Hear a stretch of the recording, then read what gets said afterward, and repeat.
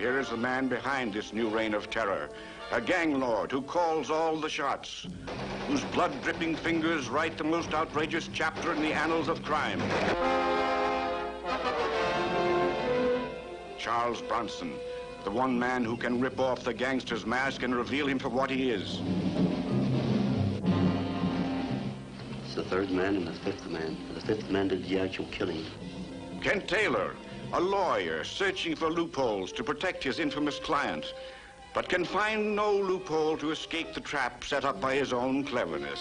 I didn't know anything about this. Is there anything you know that Maxie didn't tell you? Maybe he told you to marry me, too.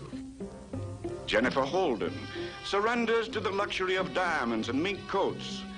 I learned a lot of things without notebooks. Yeah. And if you use any one of them with anybody but me, I'll break both your legs. John Doucette, wallowing in wealth at the expense of frightened, innocent victims. The police have an eyewitness, I see. All right, counselor. And buy me his eyes. Maybe you could take a leave of absence from school. We could go away someplace. And hide? Edie, I'm the wrong type for that. I'm just a mule-headed math teacher.